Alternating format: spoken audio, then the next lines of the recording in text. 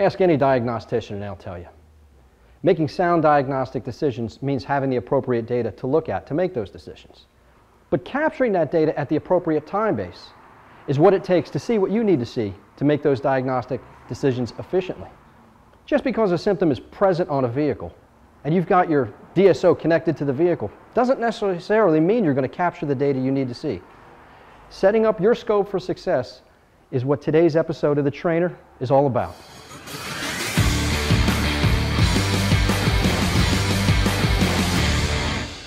This edition of The Trainer is brought to you by Autel. To see the full line of professional diagnostic tools and equipment from Autel, visit www.autel.com. The benefits of using a multi-trace digital storage oscilloscope, like the Autel's MS919 VCMI, are multifaceted. It's got excellent capture capability supported by these multiple channels, allowing you to simultaneously compare four elements to system functionality. This is what truly allows a story to be told. With the VCMI, the MS919 can sample up to a million data points per second. And like any scope, the data points are connected with lines plotted between them. It's the same concept as one of my favorite childhood pastimes, connect the dots.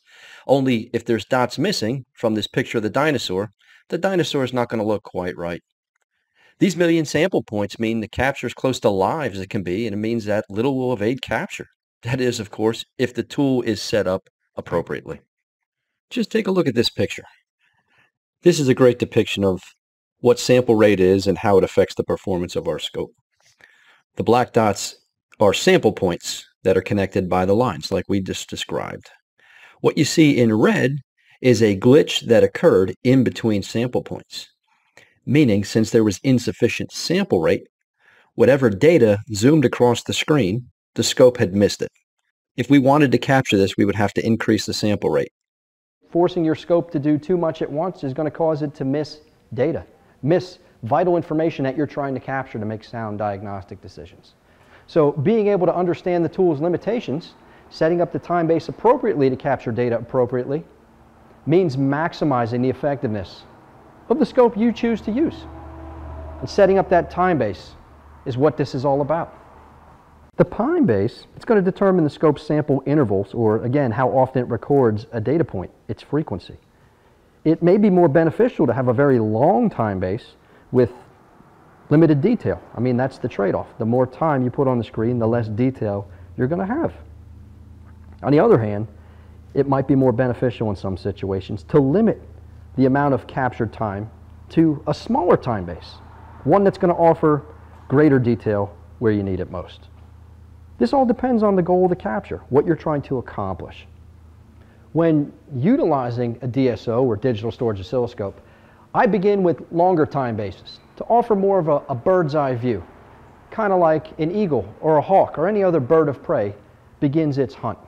It starts way up in the clouds and kind of surveys the area before coming down out of the clouds to make its final approach. The goal is to capture more data over time with less concern for detail.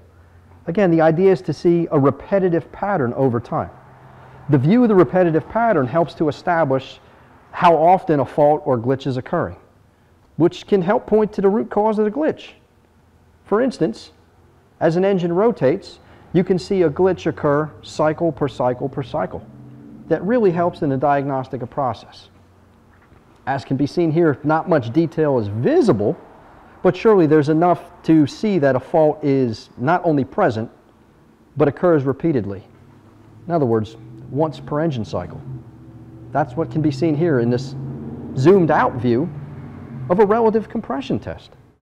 Most often, a more detailed view of the same captured data is required to make a decision about where the fault is located and what is actually occurring. For example here, with this same relative compression test, captured that same data, but this time with a smaller time base.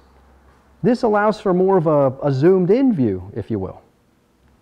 With multiple channels being utilized this time, I strategized to add an ignition trace to this relative compression test trace. And with knowledge of the firing order, by simply referencing service information, it's quick to see that a specific cylinder is faulted. That limits the amount of time I need to spend under the hood with my sleeves rolled up getting dirty. Instead of attacking four cylinders, or six cylinders, or 10 cylinders. I'm only focused on the one that's truly the problem. What's more of a unique feature on Autel's MS919 and VCMI scope platform is the ability to pinch zoom, like you can see me doing here. That's something not many scopes can do. With my 25 years as an automotive technician, I'll be the first to tell you, it is not necessarily an easy job. But maximizing your tool's effectiveness will not only make each and every diagnostic job easier and more efficient, but will help to maximize your return on investment for what you paid with the tools. A highly capable scope like this Autel MS919, coupled with this VCMI, it has an adjustable sample rate and adjustable time base. Allow you to easily capture detailed data over a longer period of time, giving you the best of both worlds. Large amounts of data for analysis stored in the buffer and fine detail needed to be seen for making diagnostic decisions. Take your diagnostic abilities to the next level. Leverage the power of your scope's time base to help flush faults to the surface, instead of you having to chase them. To get a better look at what Autel has to offer, see the full line of professional diagnostic solutions by visiting www.autel.com. Thanks for joining me, and I look forward to seeing you on the next episode of The Trainer.